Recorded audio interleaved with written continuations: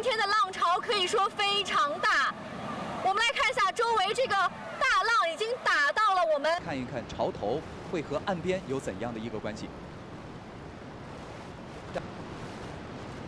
而今天整个在大潮来之前，江面就比昨天要抬升了将近。市民呢已经被冲倒了，现场市民不仅在欢呼，同时呢，他们也被这样的一股大的潮水受到了有一点惊吓。已经有一部一部分的潮水跨过了美女坝，我已经听到了这个潮水带来的轰潮头，现在已经撞击美女。